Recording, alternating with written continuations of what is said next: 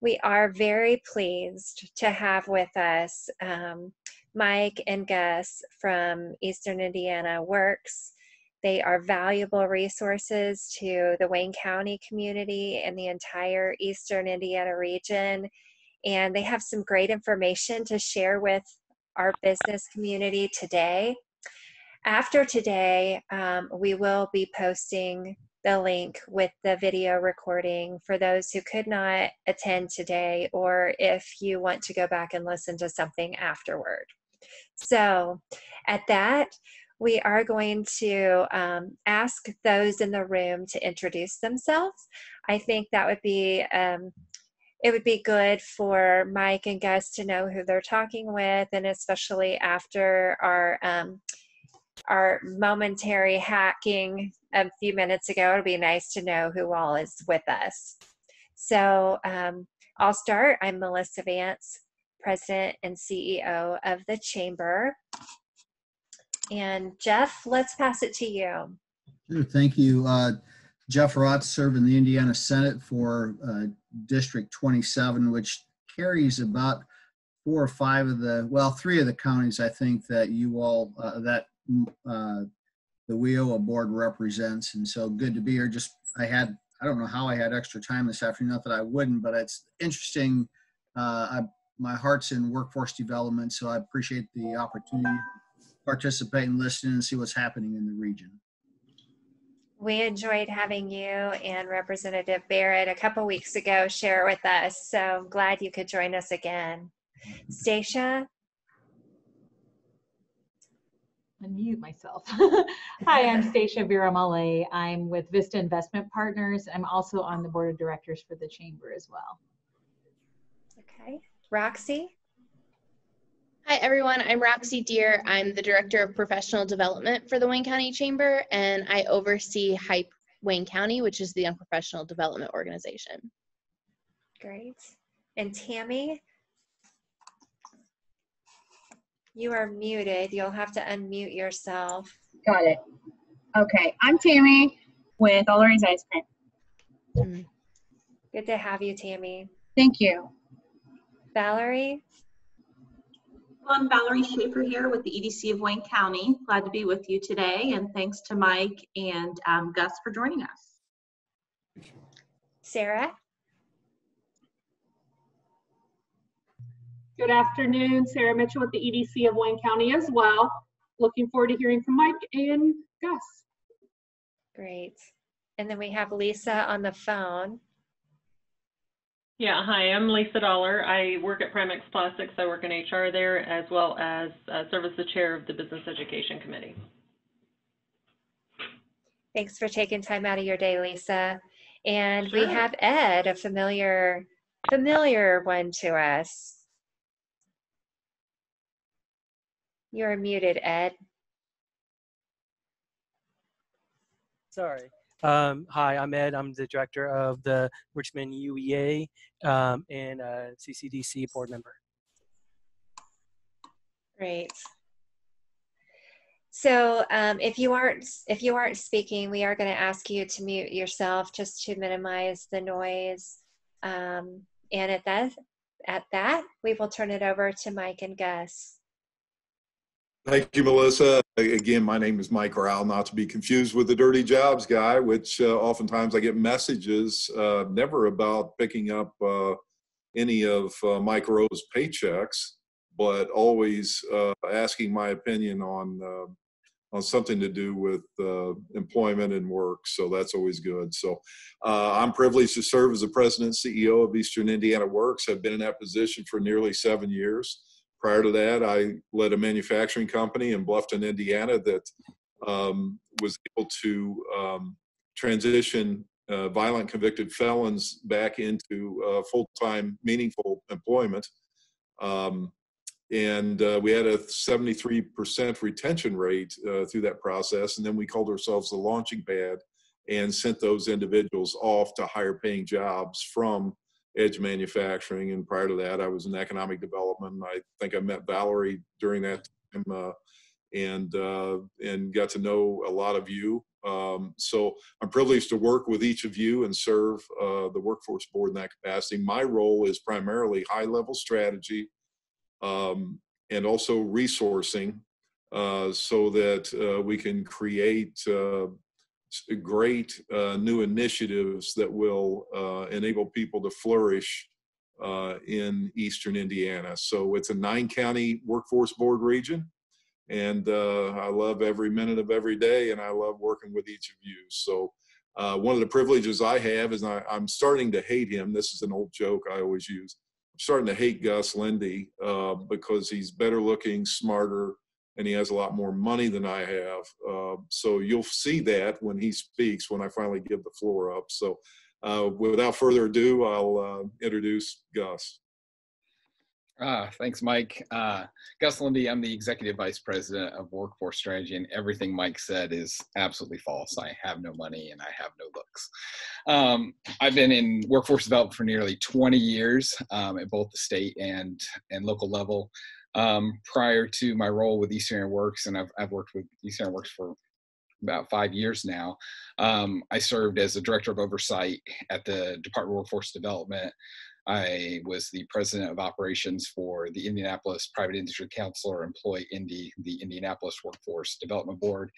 And most recently, I've served as the one stop operator, uh, contracted operator for 20 out of the 92 counties. So I had uh, uh, two different regions that I've I've assisted in in helping them partner all of the required partners in workforce development and agencies to to bring the best services we can uh, in our state. So with that, I think uh, our agenda today is to talk to you all a little bit about some of our services, uh, especially our telecoach program. Um, how we've been doing things over the last eight weeks or so uh, with the stay in order and uh, the shuttering of our offices, um, a little bit about our reopening plan, and maybe some initiatives we have coming down the pike. Does that sound about right, Mike? It does, Gus, and uh, thank you. Before we um, uh, get to the agenda items, just wanted to uh, reiterate that Eastern Indiana Works is not a government agency; it's a private sector 501c3. Um, and, and, so oftentimes, uh, and, and, we do partner with the Department of Workforce Development and uh, also work very closely with Senator Raatz and uh, Representative Barrett and, and others to um, cultivate a, a, a world-class workforce for our region. So, but there's a lot of misunderstanding about regional workforce development boards um, uh, particularly when it comes to unemployment insurance. And we'll be glad to clarify that uh, during this time and uh, also answer any questions you may have. So thanks, Gus. Yeah. So that being said, like Mike said, we're, we're a nonprofit. Our piece of, of, of partnering and coordinating with all the state agencies and other community partners um, is really on the reemployment side, not the unemployment side. And so with that, um, one of the things we, we actually started launching this and piloting this end of last year and into, into January was our telecoaching program. Um, we've been doing it now for about five months. Um, the pandemic really escalated our our launch of this and uh, and can and quick rollout of it, and uh, it's been fairly successful so far.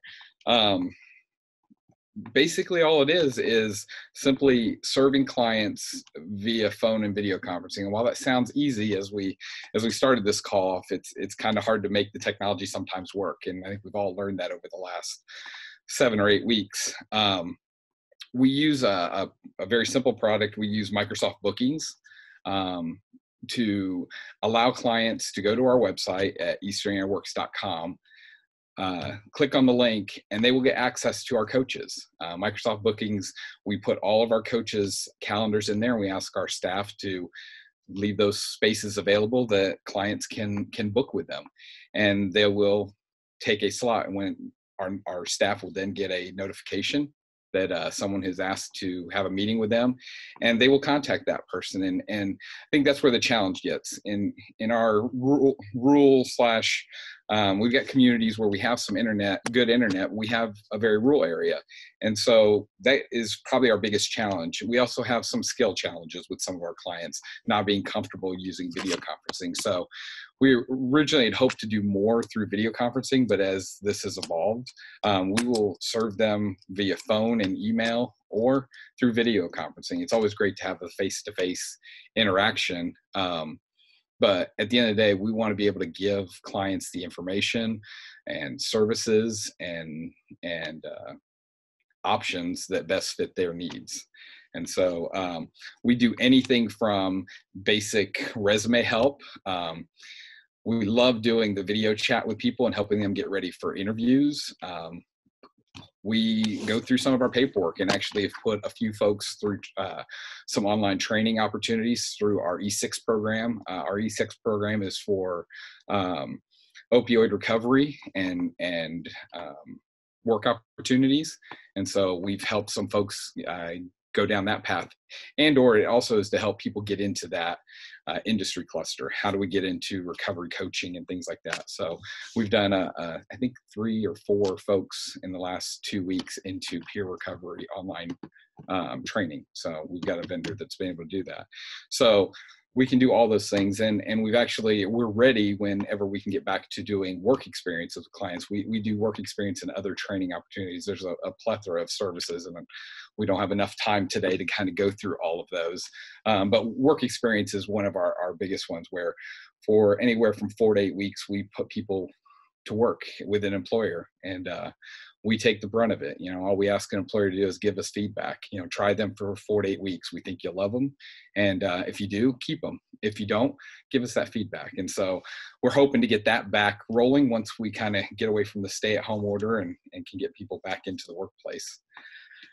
Um, so how successful has it been? I, I would tell you in the last eight weeks, our small but mighty uh, team from our, our contracted service provider, they have about 20, 25 or so staff.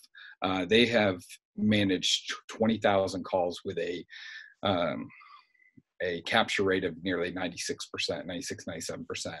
Um, they don't miss many calls. Um, and those that we missed, we have called them all back. So we, we've managed quite well.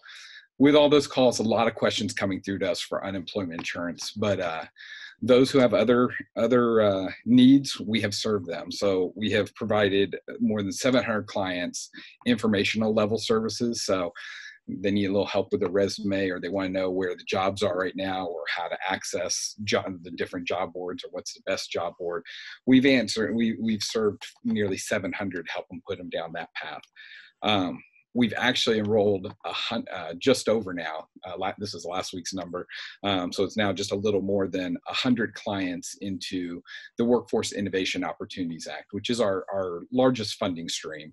Um, that funding stream has has three paths: uh, general low income adults. Um, those who've been, which we have a high number right now of folks who've been dislocated through no fault of their own, um, put on unemployment insurance or the youth population. So we have we have enrolled nearly 700 uh, or sorry 100 people into that category and that level of service gets into actual career counseling and individualized employment plan development. Um, you know, I would say those calls typically are anywhere from a half hour to an hour of really getting into your individualized needs. It's not just a, here's how you get an interview or here's where the jobs are or uh, here's what the labor market looks like right now. Um, we've also, and so a number of these would be clients we served before the shut-in um, of our offices. We have placed more than 75 people into employment.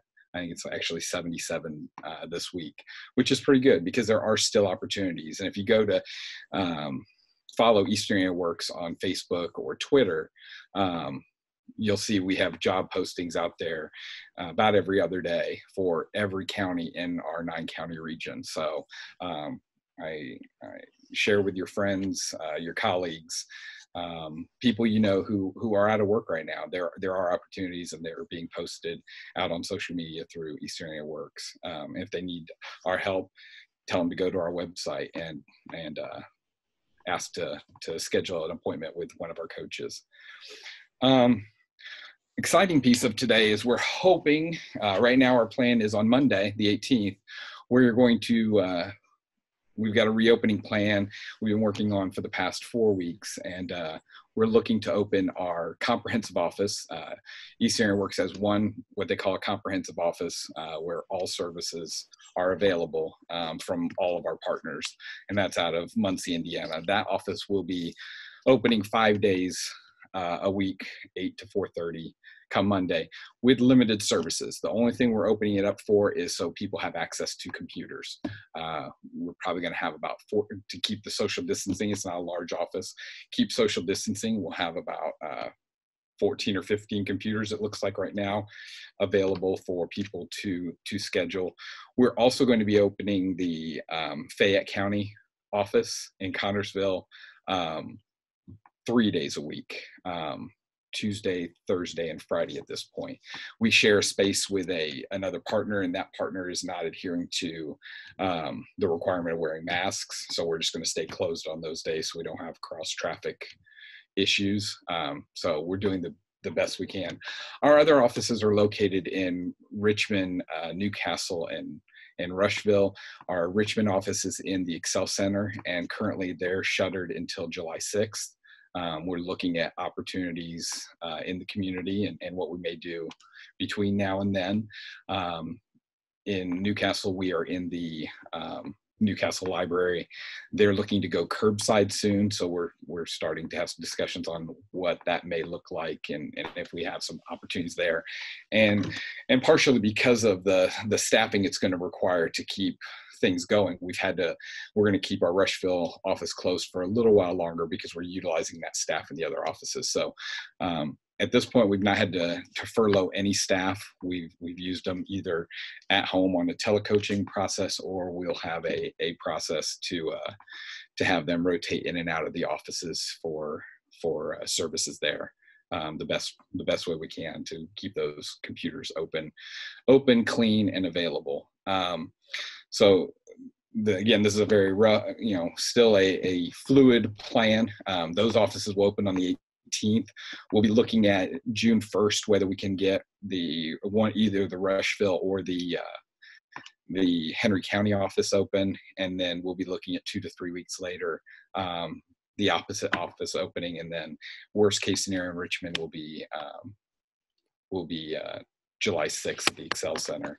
Um, but again, anybody in any community, um, even if all they have is their telephone, can call our offices and we will we will talk with them or we will schedule them um, for an appointment and and meet their needs the best we can uh, whether we have a physical office or we don't have a physical office. I think that's been the the great piece about what we've done over the last four or five years. Um, our mobile team is shuttered a little bit. We're using them in these the, as we start doing the reopen plan but we have four or five staff that go around to different communities especially communities we don't have uh, offices in. Um, and we serve serve the public out of libraries, out of employers' offices, um, faith-based organizations, um, and the like. So uh, anywhere that there's a place people congregate and have an employment need, um, let us know. We'll we'll find a solution for them. And I think that's the big piece about Eastern Indiana Works over the last four or five years.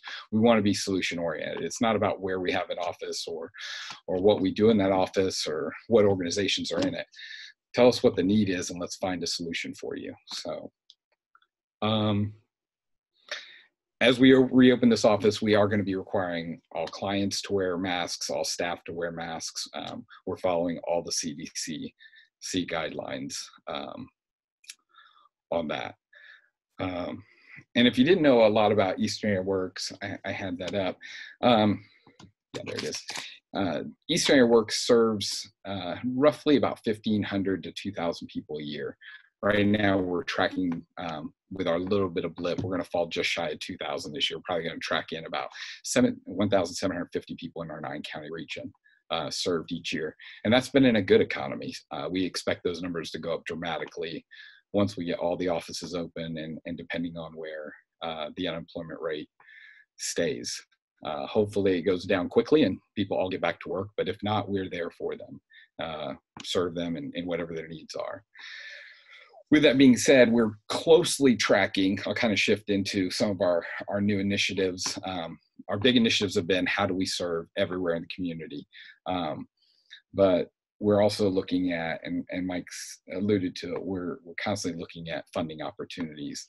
Um, right now, at the start of the uh, the pandemic, um, the Department of Labor has opened up a little bit of disaster recovery funds for dislocated workers. Um, they, they have a pot of money for emergency dislocated worker events, um, and they have opened that up.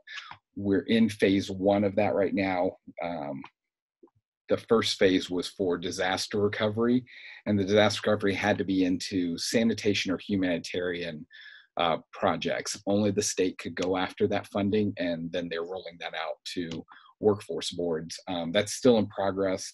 Um, the state was awarded 1.6 million. We're not sure what we're going to get for our region, um, whether they're going to straight line divide that up equally or if it's going to be based on based on population uh, and census data.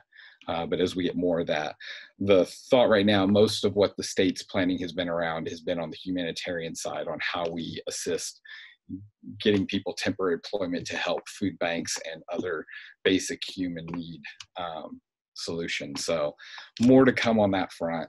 They are also, we're, working on with a number of regions, the second phase of that, which is uh, of that disaster recovery funding, emergency funding, which is employment recovery. Uh, the employment recovery um, is a, a larger pot, um, and we're looking at that a little closer. Um, it's unlike the first batch, which is for the disaster component, um, that probably would be like a six month project.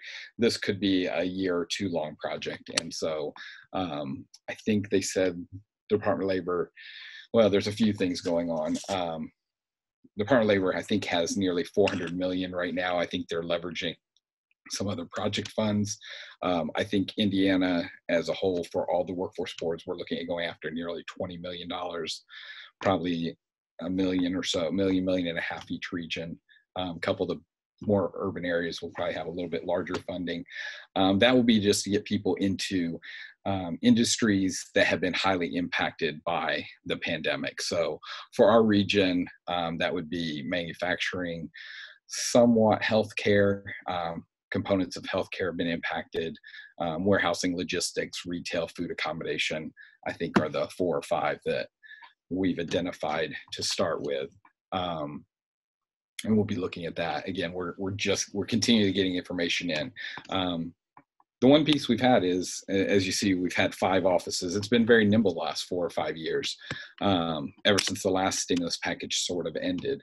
Um, there was last week um, information provided that there is a proposal out there for a $15 billion workforce funding bill um, it's called the Relaunching America's Workforce Act. Um, that would provide some much needed funding to um, our organization. But while you see 15 billion, there are a lot of components here that go to other organizations. Um, there's a couple billion in there for community college and industry partnership grants, uh, some reentry components at about a third of a billion. Um, Native American programs, migrant seasonal farm workers. Uh, so probably about half of that will go to to your workforce boards uh, at best. Uh, I'll be honest with you, probably closer to 40% by the time state holdbacks are, are made and things like that. But uh, we'll be looking at that. To how do we also use that funding if it if it passes through and it comes forward? Um, it's not to supplement what we do; it's to continue to simulate. So it doesn't give us a lot of funding to expand staff. Um, a whole lot of staff. It will be more funding to how do we get people into work. So we'll probably be looking at heavier options for work experience and on the job training opportunities um, and things to, of that such, uh, of that sort. Um, Gus, if I don't, if you don't mind, I I want to interject a question since you're on that topic right now. Yeah. Um, in the 2008 recession, there was a time where um, there was some stimulus that was helping individuals who didn't have degree completion be able to go back and get their degree um, or certificate or certification. Um, do you anticipate that some of these grant dollars would be used in that way, or or what are you thinking is going to be the actual use for that? I, I do. I think right now we're trying to be as nimble as we can. Uh, the money can always be used for occupational skills training, degree completion, as long as people meet eligibility. But we have three or four, five pathways to meet eligibility, um, and I think this pandemic will will easily make many people eligible. Uh, because I know right now we have the next level jobs that helps folks that don't have an associate's degree um, to complete uh, training or an associate's degree. But I just wondered if there might be some availability for those who have an associate's degree but want to move on to a bachelor's degree program, especially when you're talking about um, healthcare and potentially some logistics management you know that might require a higher degree level. Yeah I, I, believe that all that will be on the table. Um, they they mirrored this off of the act of 2008 uh, 2008 and 2009 um, i think the big difference i saw is language around uh, eligibility includes folks who've been affected by covid whether you were affected and that's though this is pretty early in the process. Um, it's still in committee in the House, and I'm not sure exactly where it's at in the Senate. It's a bicameral um, proposal, so both sides are trying to push this through. Um, but it does look like there'll be multiple paths, not nor- not just the normal eligibility of low-income individuals and standard dislocated individuals, but looking at there may be some eligibility for those affected by by COVID directly or or indirectly in their family.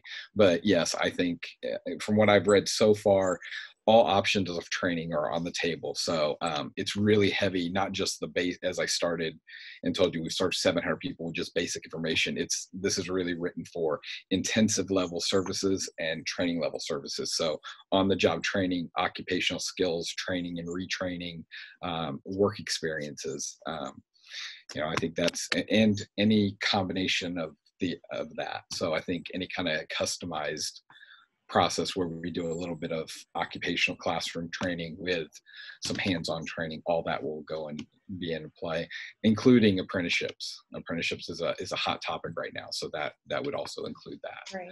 Um, I think the only thing that we're still trying to find out, there's been some questions on, is what about incumbent workers? So, because that's that's a fine area. A person was laid off from a job, and then they were brought back, well, were they are they eligible as a dislocated worker, or are they now an incumbent worker because they got their job back, but they still have been affected? And how do how do we do that? So we have a lot of questions nationally on that front, but we'll keep working on it. Sure. Um, any other questions? That that's the big funding pieces right now. We're also looking at what's collaboratively hap- collaboratively happening out there in the philanthropic arena with workforce and how do we assist communities putting proposals together and is there workforce information or or labor force data that is needed we're here to help you with all of those items as well i don't know if you have anything to add on that mike but uh, you know i think we're trying to take a broad swath and broad look at how we serve the communities, not just with what funding do we bring in, but how do we collaborate and work as partners to to uh, help communities bring funding into the community. Sure, and uh, you know our uh, objective as a board of directors is to fulfill the federal law, which is called the Workforce Innovation Opportunity Act of 2014, um, and um, by that be a one-stop shop just a one-stop for all things workforce development in the region. So, um, you know, we worked very hard on our messaging. Uh, Eastern Indiana Works was carefully selected by the board of directors as an organizational organizational name. It's a DBA. Our our parent company is not Eastern Indiana Works. The corporation is Alliance for Strategic Growth, but that sounded too much like economic development. Didn't sound like we were staying in our swim lane, so the board decided to shift gears, implement Eastern Indiana Works to simple, uh, uh, be symbolic for uh, to the world actually that if you live in Eastern Indiana, you work and you work hard and you work well. So uh, it would help our economic developers. We uh, from our perspective, um, an attraction, retention, uh, et cetera. And, uh, but we want to be about all things workforce development for all organizations in Eastern Indiana. Can you guys talk a minute about um, what you, I know you talked about some training and things like that, but how, you know, we have Primex on the line, for example. If if they were looking to fill some positions, how would you go about vetting some candidates that might be good to send their direction or to do some of this on the job training? Not to speak for you lisa um, but you know some of our local manufacturers i'm just trying to identify the best way to work with your organization. And then also protecting the employer a little bit on the vetting side. Do you do any of that? Yeah. Oh, me, okay. I wasn't sure if you were to speak, Mike, or me. I thought I saw you getting ready to. Um, yeah, we we do some of that. We haven't. Some workforce boards get into actually doing pre-screening. We haven't dabbled into that arena, uh, but we do collect um, applications, resumes. We have the Indiana Career Connect, the job board.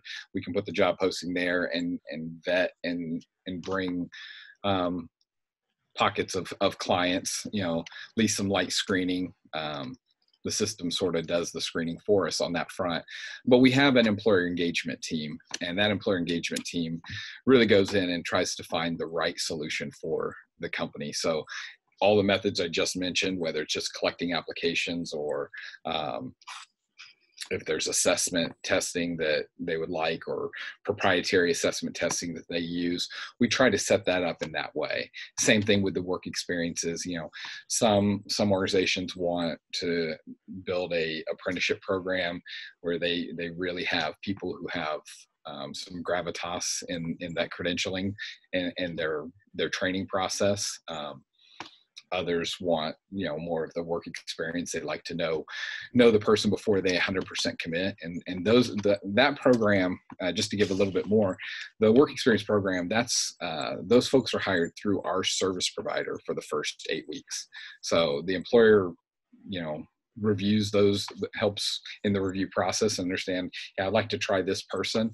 Um, but they go on our our service provider's payroll for up to eight weeks and at the end of it all we ask for from an employer is what how did they do you know? And if they say we love them we want them that's a home run. Um, but if we can just get a hit from it and someone goes, hey, they're great, but they need this, that, or the other. Sometimes it may be that they need some occupational certification. Great. What if we get them that and bring them back to you? Do you want them? We'll do that. So That's awesome. I'm not trying to hedge a little, but it really is a unique situation for each employer, what works best for them and the client. You know, uh, we want to make sure that, that we're, we want to be match.com for workforce development. About how many employers in Wayne County are you currently working with um, as far as placement? Oh, good question. I I don't have Denny's worksheet in front of me right now. If I had to guess, for I think we I think last time I spoke to our employer engagement person, we probably got anywhere from 30 to 50 in any given county. He's got a pretty robust list of employers um, in our system. Great. Is that about right, Mike? Yeah, yeah, it's a uh, work experience is wildly popular because, as Gus stated, the, the board of directors, those individuals are on the board payroll uh, for four to eight weeks, and um, it's a risk mitigation uh, for employers uh, at the hiring level. That's great. Are you all working with the high schools as well? We we have a JAG program in six high schools right now. Um, I, I, should say five. We'll be in six in the fall. Um, we'll be in Richmond High School in the fall for our JAG program. That's our in-school program. Um, right. We have a little bit of funding for other in-school. The Workforce Innovation Act of 2014 really flipped the model. Um, and, and fortunately, Indiana has had a JAG program um, in place for a number of years. But it used to be the funding for youth was a, a 70-30 split, 70% in school, 30% out of school. When the act was changed in 2014 and implemented in 2016, it shifted to 75% out of school, 25% in school. Um, and the caveat we continue to to, to uh, advocate for is that also includes college students in that college students okay. are in school so it really has limited us on how we can serve um, serve folks in, in our communities in that are that are trying to to work on their education especially that college student because we used to count those as out of school youth and uh, helping them you know we help them in the jag program and get them to a point and as we've we've said time and time again it's great that we can get them to high school then they get to go to college and they've got all these large bills and and stressors and we sort of let them go. And that's been i think the one miss in the last version of uh, of the act when it went from the workforce Inno- uh, investment act to the workforce innovation act. Sure. so we're, we're continuing. I, and i know there are people who are listening to that and they're they're working on it um, but that's that's been a little bit. But we do have our jag programs and uh, and we assist in any other way we can um, in the other high schools. We work with all the career centers um, at least from an, an adult edge uh, adult basic education and and try to do a little bit of our youth funding in the in each of the career centers. One of the programs that the chamber has had the last few years um, through the Business and Education Committee um, that Lisa leads and Roxy's our staff lead for. So either of you ladies feel free to chime in. But um, we've been having job fairs in the high schools, doing working with junior achievement, doing some soft skill- training. But we know that there's a large percentage of students that are graduating. They're not heading to um, an Ivy Tech or an IU East or other higher ed or um, post secondary training. And the goal of placing them in a full time position, preferably with benefits, to be able to help them get on their feet, sustain a family in the future. Um, we feel like that's a really good thing, and it would play right into some of the work that you were doing. Yeah it would yeah we'd love to know more about that and how we can collaborate on that Um, I see that Stacia had asked a question, and so just for um, the recording, I don't know if the recording shows the chat box or not. So she asked that, um, let's see, I used to be on the Hope House board, a homeless shelter and addiction recovery center for men. Do you currently partner with them at all? If not, is this something you would consider? And Mike, I see that you responded um, that you do partner with them. Yeah, I'm not sure which which ones you're with. Um, we we will absolutely partner with any and all of them. Um, I know we have some in and around the region. I'm not sure exactly um, which which counties we're in on any of those at this time, but um, we'd be happy to to to talk more about that and, and start looking at how as we bring our mobile team back on uh, adding sites for them and, and looking at that. Right. That'll be an area where we, if we're going to expand staff, we're probably going to expand staff in that arena uh, for telecoach and and uh, mobile mobile access. And then the next question is What is the average cost to successfully place an employee? That is the cost to the organization. That is a, that's a good question. From I don't know if we've done an analysis on that of of their time and effort. We really try to take the time and effort side of it off of their off of their hands. Um, you know, from a WEC standpoint, we're paying that payroll for the first eight or 10 weeks. Hopefully we're taking quite a bit of cost off their plate. Mike, do you know, have we, I don't think we've done any kind of analysis on the average cost to place an employee or you? Yeah, not to my knowledge, we haven't done a cost benefit analysis, but um, the cost for the, um, the employer would be time spent with Denny Cochran and the others from the employer engagement team. Um, the cost to the board of directors would involve the, the normal um, wage, any UI tax, any, anything like that. Um, that would be paid. So, uh, and that varies depending on what the wages are. So we like, uh, you know, the higher the wage, the better uh, from our perspective, because that means someone will prosper and by God's grace, buy a house, uh, pay increasing taxes in the community, and also help um, help support uh, local businesses. Yeah, I, I would say uh, on average, what is our, what does it cost us on a WEX? I, I want to say it's somewhere between three and four thousand a client for six six weeks or so. And again, that varies if it's a four or eight week, but the average is about six weeks, and and we try to keep them fairly high on the wage 14 15 16 dollars an hour so um, like i said it runs in that three to four thousand dollar range um, sometimes a little higher um, than that. So that's a benefit to the company that that's wages that they're they're saving um, yeah we've tried to calculate the benefit to the employers um, uh, of this process and we have not been able to, to do that successfully. Uh, there's incredible benefit as you know as a former manufacturer, uh, I can tell you the, the biggest upfront costs for me were was turnover. Uh, we didn't ruin product or materials.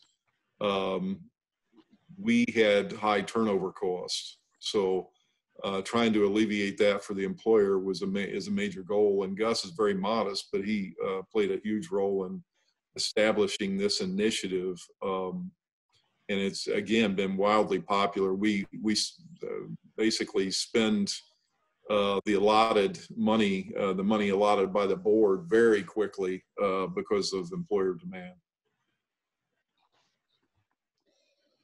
So, if you are on the call and you would like to um, ask a question at this time, you can either um, raise your hand or get our attention in some way, or you can type your question into the chat box.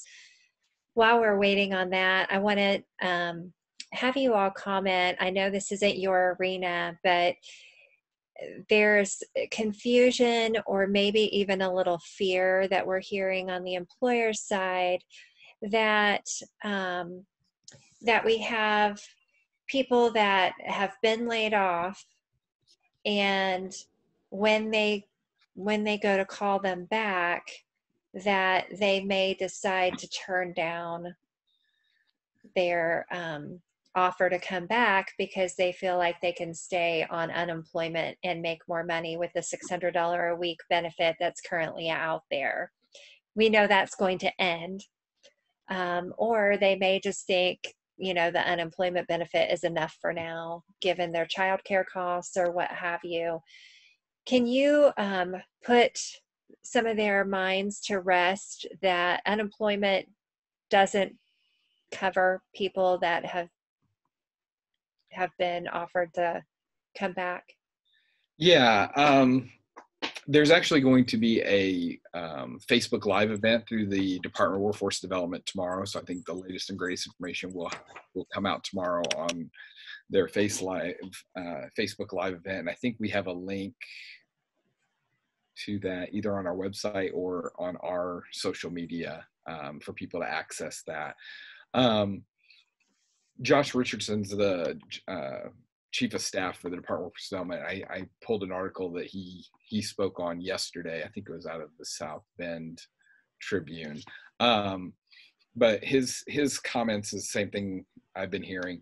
Is if someone's worried about going back to work, um, it's not a good idea if they just don't show up or don't go back to work. Um, if they're if that job comes back and is opened up, people should generally return to work or they could risk losing their benefits, is what he stated in that article. Um, if they face, you know, coming back even at reduced hours, they could possibly still qualify for partial benefits. I also went out and pulled um, on the Department of Workforce Development, they have COVID 19 frequently asked questions of employers and um, for individuals. And question 12 on the individual side says if I decide to remain at home because of COVID 19 with no directive from a medical professional or my employer to do so, will I be eligible for unemployment insurance benefits? The answer DWD has, has documented um, and so I can say that to this group because again, we don't do unemployment insurance. Is their answer is in most cases no. However, the facts of each circumstance are important. You can file and DWD will evaluate their claim. In essence, if a person refuses to go back to work, they're taking that risk of losing benefits.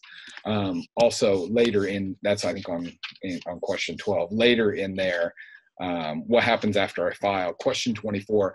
After I file a claim, the uplink system shows I have an issue holding up my payments. What does that mean?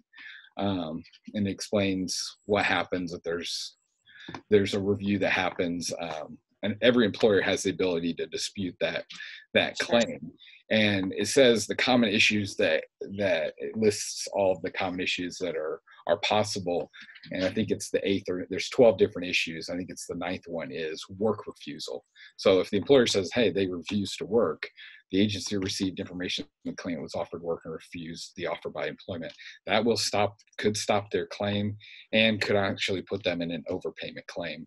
Um, I also, as I've talked and, and DWD, Department of Workforce Development has said this number of times, is um, I always warn people, claimants especially, don't answer the questions that you're asked on your claim incorrectly because it could put you in a fraud situation, maybe intentionally, but if you don't answer them honestly, you could be you, you will end up either in an overpayment situation, have to pay that funding back, or depending on the amount and how long you did it, it could be considered fraud. So um, again, sure. I'm, I'm sort of regurgitating what's out there um, because we we can't make determinations on claims. Um, that is all with Department of All I can do is kind of point you to what here's the commonly asked questions and commonly asked or uh, provided responses. Um, all benefits, they're all individual, um, but you know, as Josh had has guided us is indeed, and the part the whole department has guided us is if you don't take that work opportunity, you are putting your benefits at risk. Great. Thank you for that clarification. I see Valerie has her hand raised. Valerie, we'll turn to you at this point. Thank you. Uh, my question is related to the unemployment rate.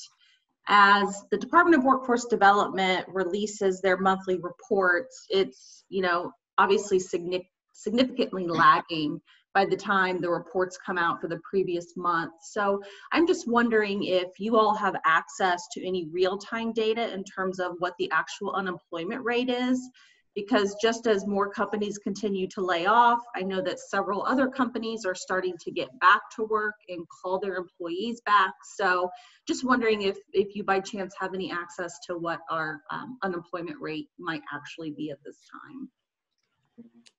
Uh, great question, Valerie. Thank you. Um, as you know, the it, it, takes some time for the data to mature, um, and access to mature data is not um, available to my knowledge. Uh, the best we can do is access Burning Glass, uh, which is the the highest end um, database that that we can possibly uh, find.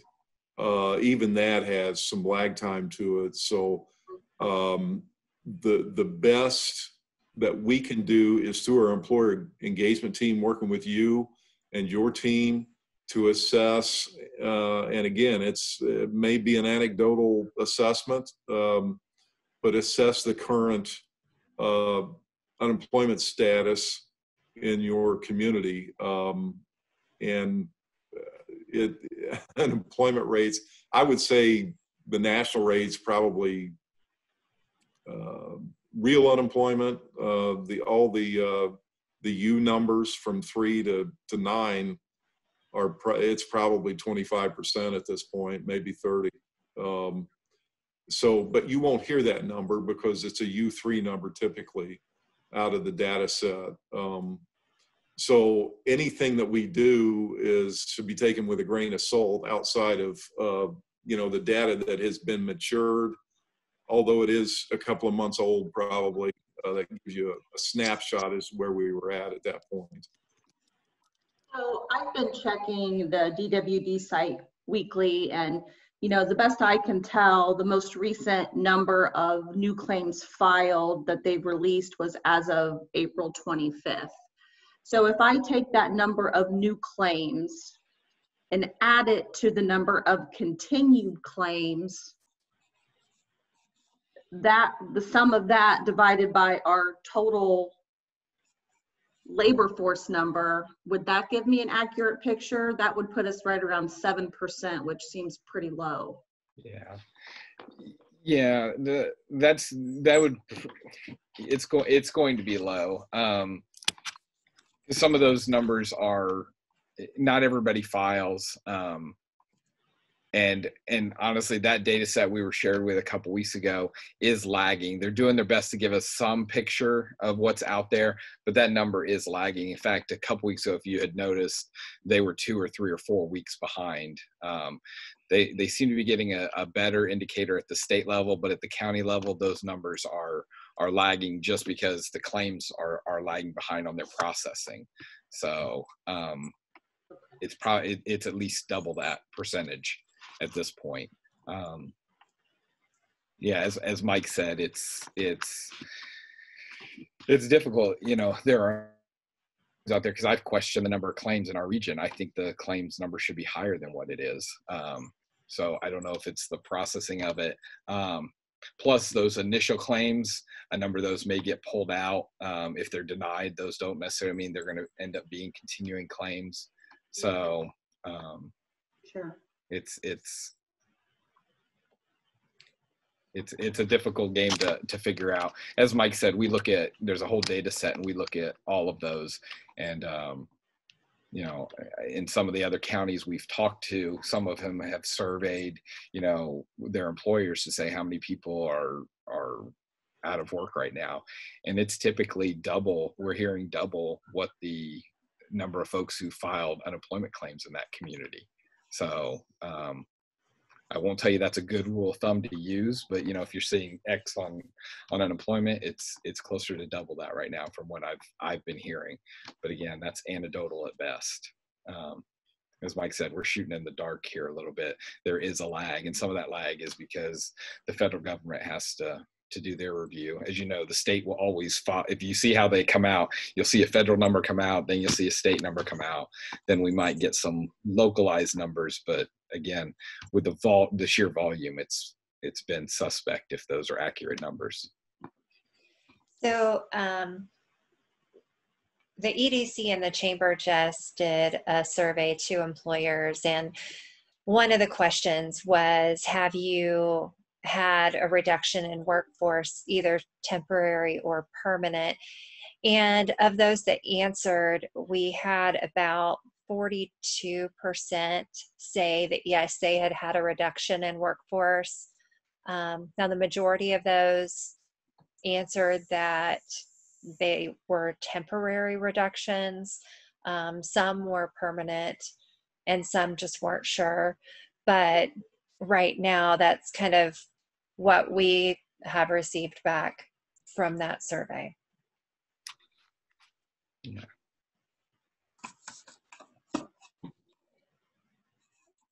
Lisa, not to put you on the spot, um, so don't feel like you have to respond, but being the large employer that's on the call today, is there um, are there challenges that you're seeing, or either through this pandemic, or just hiring challenges that you feel like um, the chamber, the EDC, Eastern Indiana Works, any of us can assist with?